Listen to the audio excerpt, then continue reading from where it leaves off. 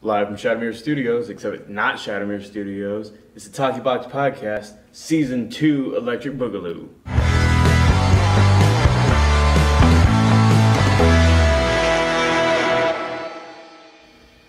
I don't like Electric Boogaloo. Well, I won't do it again. Okay, cool. Glad we settled that. What happened to your fancy notebook with all the terms? Uh, it's at, it's still in the studio. no, it's retired. It's we're not doing that season two anymore. Oh, we're not doing that? No. Oh. You gotta. Why you call the shots? You have to upgrade. it's season two. Everything's supposed to be better. Bigger, better. I don't know. I, I feel like we're hitting people's We're doing up. we're doing a shorter podcast. anyway, Shorter, not as good. we'll see. I don't Um, know. New year, new us. Yeah, I'm your host Dave. This is Kate and Jeremy, Mm-hmm. and there are uh, names and stuff on the big ass whiteboard. Um, yeah, it's been a while since we've done one of these. Very Feels- long got time. A lot of uh, Feels unfamiliar. a lot of life going on over the past couple months, and uh, we haven't been able to really get scheduling is a bitch Yeah. trying to get everything together. But Also, our entire studio is currently under construction, as is much of our house. So that's, That's true. Yeah. So we're making do with what we got. Right now we got a library. Uh, thanks to Hampton Park Library for letting us use this this room with its uh, with its echo. He's really not happy about the echo. it's like it's like being in an auditorium. It's almost like And we've heard very echoes important. about the echoes. Except we're not important. So Welcome to our TED Talk. anyway, so like On why you matter. like I said, it's been several months since we did one of these, which means we've had lots of time to prepare for this, and then we didn't write anything down. But Oh, absolutely.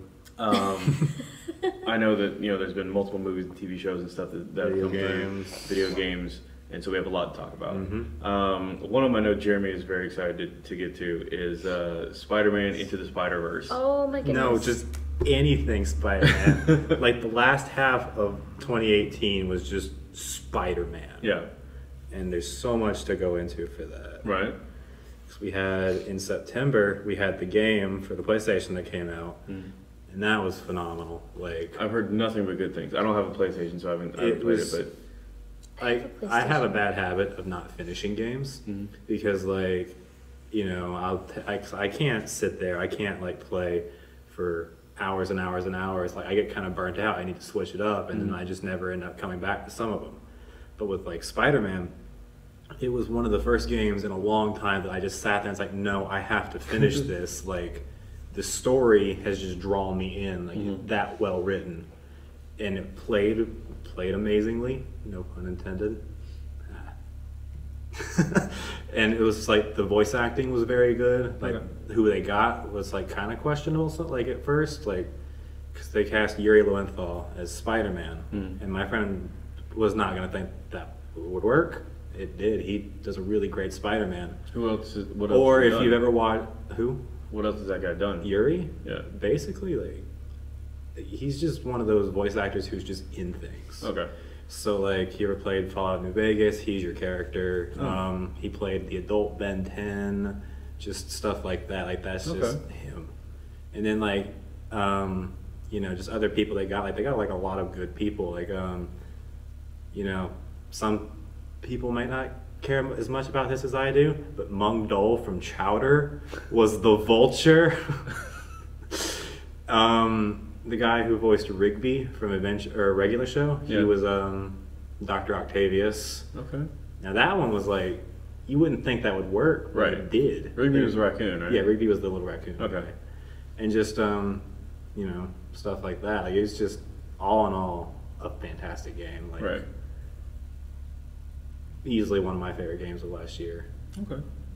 So, like, like I said, I've heard nothing but good things Mhm. about it, and I, and I would like to play it. I might have to get it and just play it on your PlayStation. Um, I would also like to play it. We can split it. We can go halvesies. yeah. in The game. I mean, I could just let you borrow it. Okay, we can do that too. An option. I do Um, so, uh, but also Into the Spider Verse, like I Oh, said, yeah. which came out uh, December. in December. Mhm. Uh, I know Kate and I saw that with Uh, with uh, Jackie. with Jackie, My brother. and and uh, it was fantastic. It was a phenomenal, well done animated.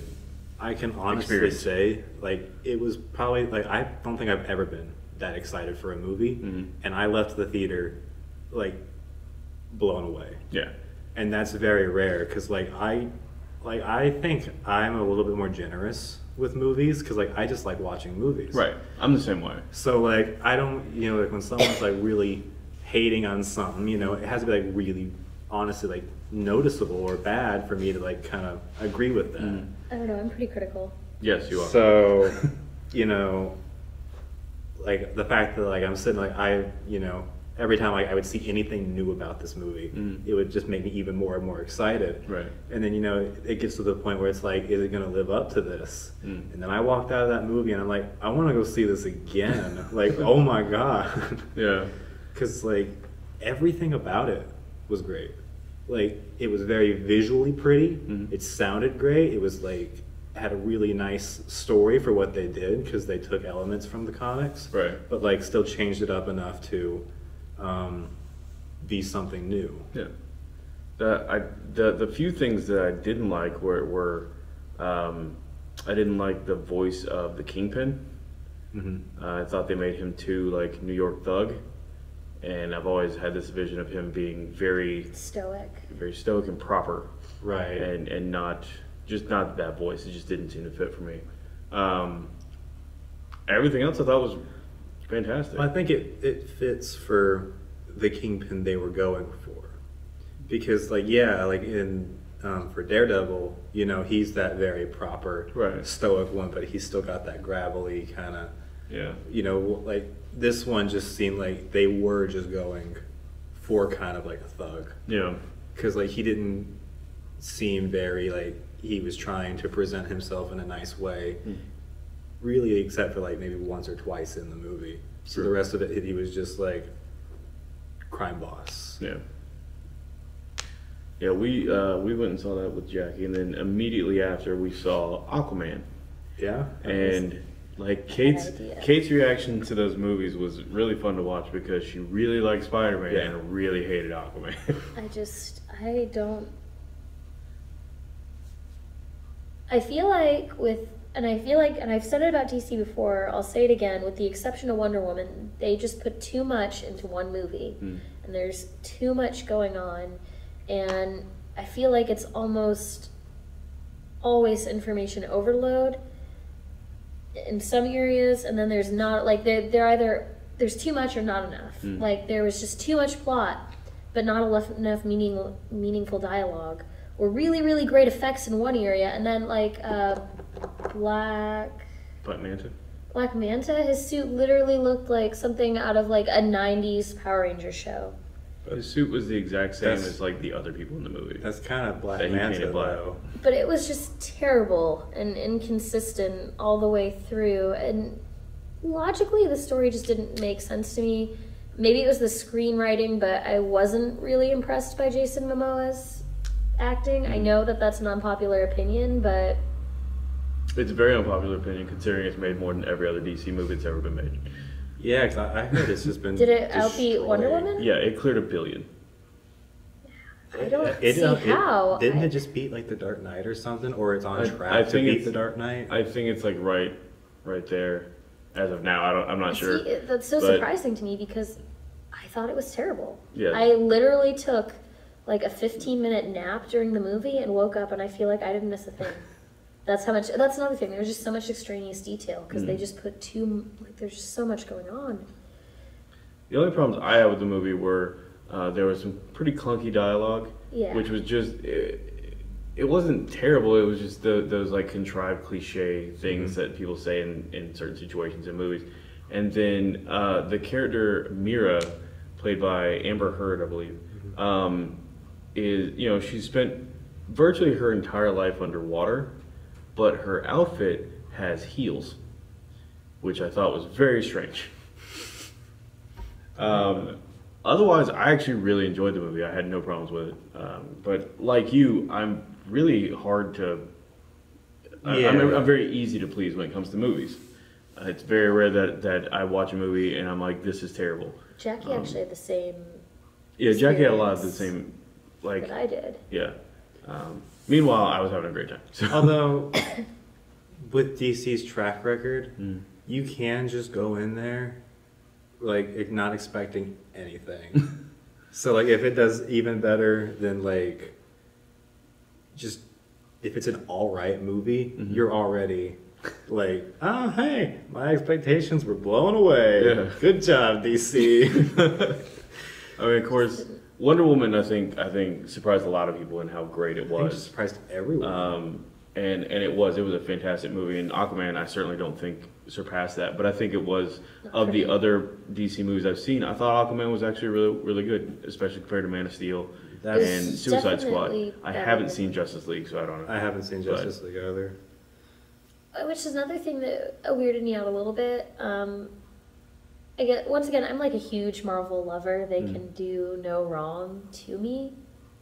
Um, but something that's iffy to me is like you know, we have Aquaman after Justice League. Mm. Whereas I feel like I, I, you know, for the most part, with Avengers, you had those individual plot lines Yeah. building up to the Avengers. So you already went into the Avengers movie with a full kind of understanding of what your cast was going to look like. You were just really kind of waiting to see how they would play off of each other. So even if you weren't, you know, someone who read the comics or grew up with the shows or something, you by the time Avengers came out, you basically knew Right. what to expect. Where Justice League, like you have the the origin story for Aquaman after Justice League. Well, this wasn't his origin. Like it did have his origin in it, but but these events happened after Justice League did, and and it's actually something I had said long ago when they were starting to talk about Justice League is that when if you're going to do that, you have to do the opposite of what Avengers did. You can't like Avengers started out having their individual movies and then put them all together into Avengers. Justice League was going to have to reverse that. And they, they did a couple of movies early and then hit Justice League, and now they're showing us about these other characters. And I think that's that's what they had to do to, to really set themselves apart. Now, granted, a lot of their movies aren't good, so you know that That- that kind of hurts you. That's what's of what upsetting too, thing. is because like all their movies had so much incredible potential. Mhm. Like if they had just gotten, you know, like your Green Lantern had been done right, Yeah, that would have been one of my favorite things ever. Absolutely. Because I love the idea and the character of the Green Mm-hmm. Lantern. Because he's just so like it's a space cop with the ability to basically do whatever he wants as long as he's you know a strong like Right. willpowered individual. But like they just didn't they did not do it Yeah. well. Like Ryan Reynolds could have been a really awesome Hal Jordan, but like No. the way I think he could have. Ryan Reynolds could have been a great Kyle Rayner. Um, Kyle Kyle Rayner was a comic book artist and and a very funny and imaginative guy, and I think that would have been a great role for for Ryan Reynolds. Okay. Hal Jordan is supposed to be kind of like this stoic dude, and that's not Ryan Reynolds. No, it's Yeah. very Um. But but I agree with you. Like Green Lantern is probably my favorite DC character because like he's limited only by his imagination. Like he can do anything he wants pretty it's very inspiring. and I think it's really cool. That's like one of the things like I like about also like like, like about the Green Lantern is it's like with you know the past couple years there's been a lot of like people trying to change up characters with you know their origin stories or like maybe just try to pass like this say like this character is now this person instead of it being this person but with like a green lantern you can just throw in a new green lantern Yeah, which It's they've not- done in the comics numerous times. they keep doing it and, and I, it and doesn't it's throw off the yeah, continuity it's- of the work at all. Right. it's like adding a new Green Lantern is not going to go and replace Hal Jordan or you know John Stewart. It's Mm-hmm. going to be like, okay, Welcome to the family. yeah, what's up, dude? You know, and it's like, It's this new story. and it, there's what you could do with that. Like, I think that's really amazing too, because it's like each lantern also has their individual, you know, things. Like my favorite, he's John Stewart. Mm-hmm. His like he's been described, you know, he's got like the most well-built constructs because he puts so much attention into the detail and the effort. Like if he makes like an airplane, it's gonna have every individual part and be built like an airplane. Okay. But then like other lanterns are just like you know, uh, I don't know. like, He's they're one of the newer ones. I don't know who it is because my friends talked about them. But like their constructs are more fluid and like kind of tentacly, mostly just as like weapons to kind of like fight off close range. Like they don't really go into, you know, building these Okay. elaborate constructs. That there's like simple designs, you know, to help them get out of like a situation. Right. And it's like that's cool because like you've got that contrast, you know, Yeah. between super detailed and you know effective versus like effective to get you know to save you. Yeah, that's one of the things I like about Kyle Rayner was that, that when he would make these constructs, they, they- he would make like fantasy creatures and stuff, um, you know, dragons and, and all kinds of alien monsters or Mhm. whatever to and to help him out. So yeah, the, the Green Lantern was always a, a really cool idea and a really cool thing, and some and they just kind of it was terrible. They pooped on it. Took a big old shit. You know. Yeah. And now, so now we have the Marvel Netflix series that all two of them. keep getting canceled. Um, Jessica Jones still going strong. Jessica Jones is still It's- still there, and the Punisher is still and around. that's it. But chances are, since Punisher season two just came out, it's probably about to get the axe, just like all the others. Um, and the same thing is probably going to happen when Jessica Jones season three comes out. Um, the reasoning being that Disney is starting up its own streaming service. I heard, or I thought that they weren't gonna be on that. That's I- also what I've heard. That, but that this was all Netflix's idea of um, canceling these shows. I haven't heard that. I, that's what I heard. I heard that they, um, the Marvel people Mhm. didn't like, they had no like part in that. It was Netflix pulling the plug on these things. That's weird because Yeah. they are doing fantastic, especially like, um, like I feel like Iron Fist season two did way better than the first season. Um, Luke Cage left with a pretty big cliffhanger, and, and they could have done a lot with that. Um, Punisher, Punisher season two was really good. I, I just I actually I've stayed up till six in the morning the other day, um, I have not finishing season two. That's what started you were that doing, one okay. You know. And then and then Daredevil's had three seasons, four if you count Defenders, because that was really just a Daredevil season. Um, and it, but it it also did really well. So it surprised it would surprise me for either of the companies to really cancel it. But if Marvel does intend to put it on the Disney streaming service, I would love to see it. You know that stuff happen. It was I don't know. surprising, yeah, because like I kind of, like, it wasn't that surprising for like you know Iron Fist or Luke Cage or Mhm. the Defenders, like because those were always the weaker ones. Right. So like when they got you know canceled, I'm like okay, I mean I guess that makes sense, but then like you know When they canceled Daredevil. yeah, like I was not. Yeah. It's like that came out of nowhere, Right. Because like That was personal. Daredevil, like around when Daredevil came out, isn't that like kind of when Marvel started doing like as much of their original? I mean, not Marvel, Netflix are doing as much of their original stuff. Like, isn't that like kind of when Uh, they saw how well that did, that they kind of started producing more and more. You're new probably right. I think they had a few things. I think uh, I think they did have a few things out before that, but um, They I think a Nef- few from Mhm. that Yeah. time that did really well. One of them was Daredevil. One of them was also Orange is the New Black. That's that true, was yeah. one of their first originals, and it's done amazingly well. yeah, just by getting really bored in season two, um, or at least I feel it did. That's why I stopped watching it. But but yeah, Daredevil obviously did very well, Mhm. and yes, since then Netflix has been putting out just a crap ton of stuff. Um, Not all of it's great. not all of it's great. Oh, but yeah, no, but But there's some of it's been pr- a Yeah, yeah. pretty big deal. Like the ma- making a murderer was was huge. Um, The Ted Bundy.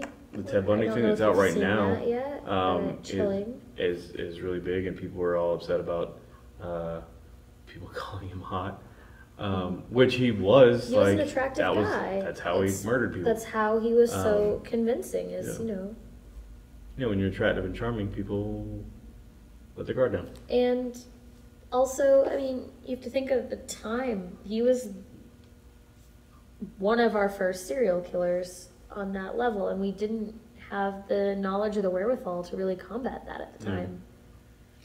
I haven't watched the show, so I don't know everything Well- about it. But What's crazy to me, I did, Mhm.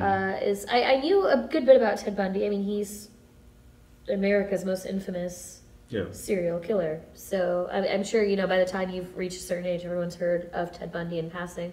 But he escaped jail twice. And that is just impressive to me. yeah, Um, so like at the point, because like in the way that they tell you in the show, like they by the point that they had captured him, um, it was just for the kidnapping. Like that's how he got caught. Ultimately, was he had tried to kidnap this woman, Mm. and she had managed to get away. Okay. And um, by that point in time, they were able to kind of trace him and link him to all these uh, bodies that were found Hmm. his dumping site. And so they had already at this point suspected him, like they didn't know for sure, they had they had him for kidnapping, and they had suspected him of committing at least like I think it was like seven murders. Didn't know for sure, Just like seven. but they were keeping him in like a minimum security prison and literally letting him walk around and stuff because they were like, oh yeah, that's fine. You know, he's depressed. He can't like. I don't give a shit. I don't give a shit if the murderer's depressed. Like, so he was, it, was this the sixties? Yeah. Yeah. So the first time he escaped, he was literally like he was walking from the jailhouse to I guess where the court proceedings were in the jailhouse. If and he literally just excused himself, went to the restroom, and like walked out the door. Yeah. All right. I'm gonna go now, guys. Yeah, I'm gonna take off. This is boring. So and he was only gone for like six days, and they they caught him, and it was you know, big deal. Like Mm. I don't know. Um, but the second time he did, he literally this one's a little more creative. I, I take my hat off to him for this one. He starved himself so that he could get through a ceiling vent on like his top bunk. Like he piled all his books that he had, Hmm. and became like drastically underweight. Managed, I guess they had in this particular jailhouse, the jailer was living in an apartment of the jailhouse. Mhm. So he went through the ceiling, somehow got to like a storage room, used that to get into the jailer's apartment, stole some of his clothes, and just walked out the jail door. Wow. And he was gone for I want to say it was a like a month or more, and he managed to get down to Florida and kill three more people Damn. from wherever he was staying. This guy was committed to murder. Yep. I gotta get out of here and kill more people. It's important. Follow my I got passion. stuff going on. Wherever it may lie. Oh. Mm. Murderers, man. What are you gonna do? Um, I think so. We definitely talked about. Um, Sorry, that was just a tangent. No, that's fine. We definitely talked about Infinity War uh, before good we had our hiatus. I don't think we ever talked about Ant Man and Wasp. I think uh, it came out while we seen it. were. Yeah. You, haven't- you still haven't seen it? It's on Netflix. It's on Netflix. I saw that, but I just Have you seen it? Yeah. Okay. I haven't even seen all of So it. let's let's do just all the spoilers we can. Um, there's this guy. He's called Ant Man. Spoiler. And there's this girl who was called Wasp. Spoilers. Oh my And- god.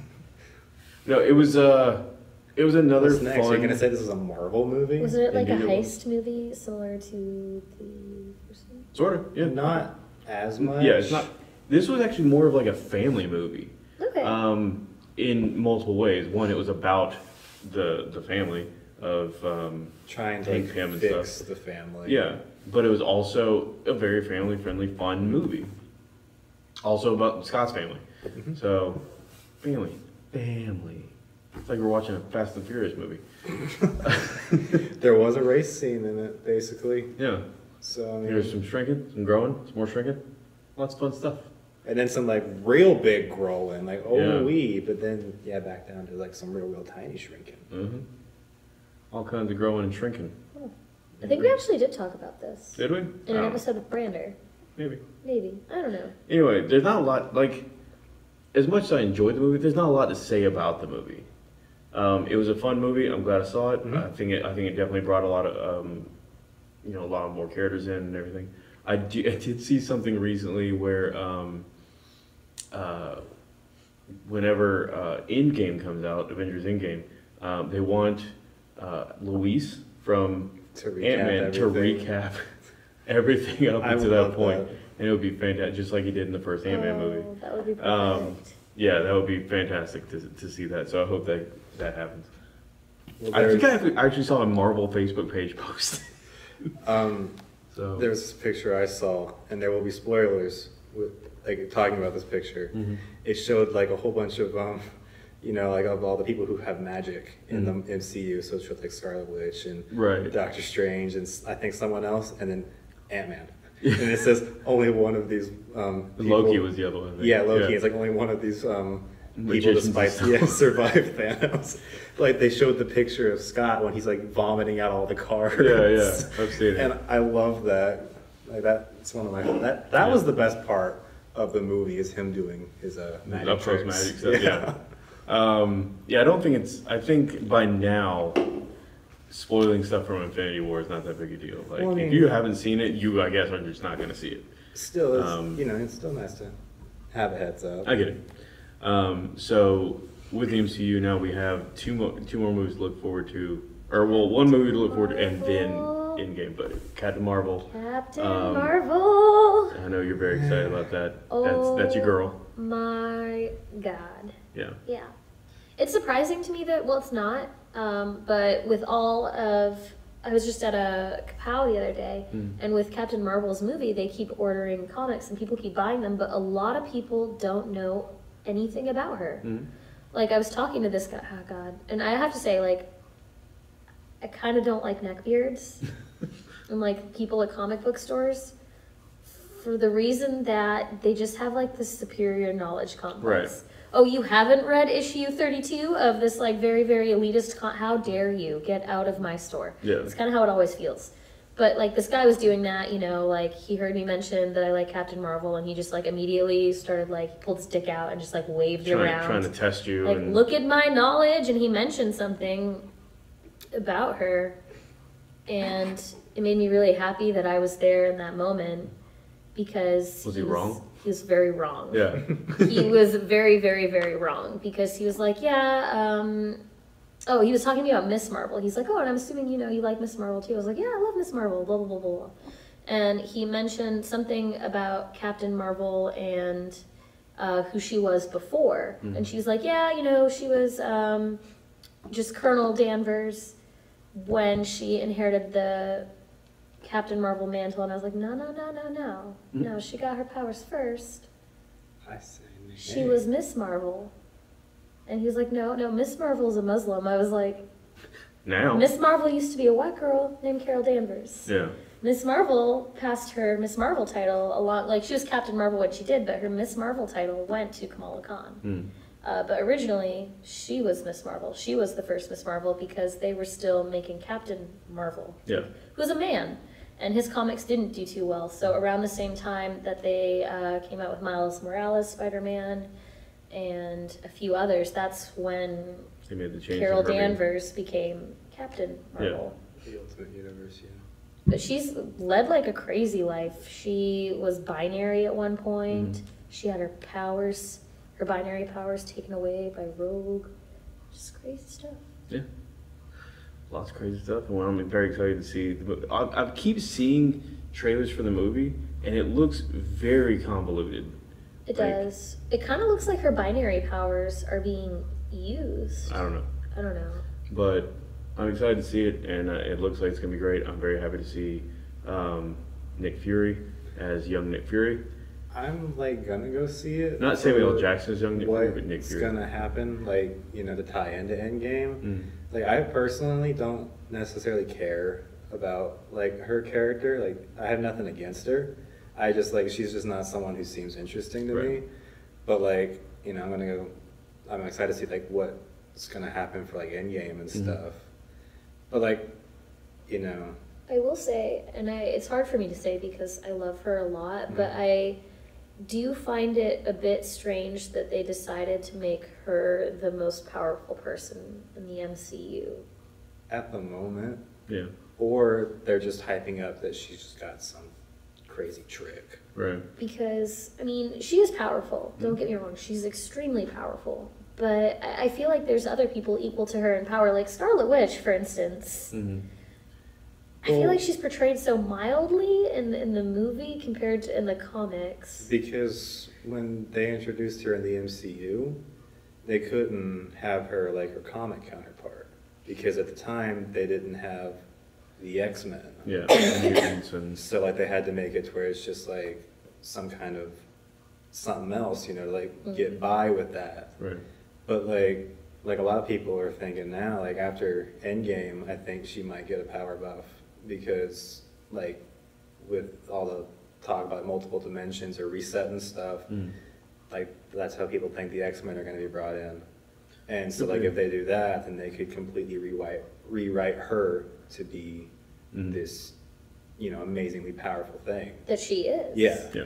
Because like even now, like I saw something that's like, while in um, Infinity War, she was trying to you know destroy Vision, and then still holding off Thanos, like by herself, Yeah. while having like some kind of emotional and mental breakdown, and like she's doing all that, and you know she's still not as powerful as she could be. Yeah, I, I think a large part of it is her powers are tied to her emotions, Mm-hmm. and and a lot of times, you know, she she's very scared a lot and not enraged. And I think in the comics, that's when you really see her let loose is when she's just, you know, pissed Like, off. I would argue she's just as powerful as Carol Danvers, maybe more. Be. I mean, um, like even with the characters they have introduced, yeah, mm-hmm. like Hulk. In the comics now, Hulk's unkillable. Like he came back from the dead and refuses to die. Or even Spider-Man, mm-hmm. um, because there's sometimes he gets the cosmic, like some kind of cosmic power and just becomes this like Galactus level of, Yeah. you know, power. And mm-hmm. like he's gotten two or three times. And it's just, yeah, you got that, and you got, Yeah. I guess Thor now. Like, Thor's pretty. Thor's super powerful. yeah. So what we have now is, is you know everything leading up to Endgame, and then Endgame's gonna happen, and then no fucking clue how that's gonna go. Well, aren't they?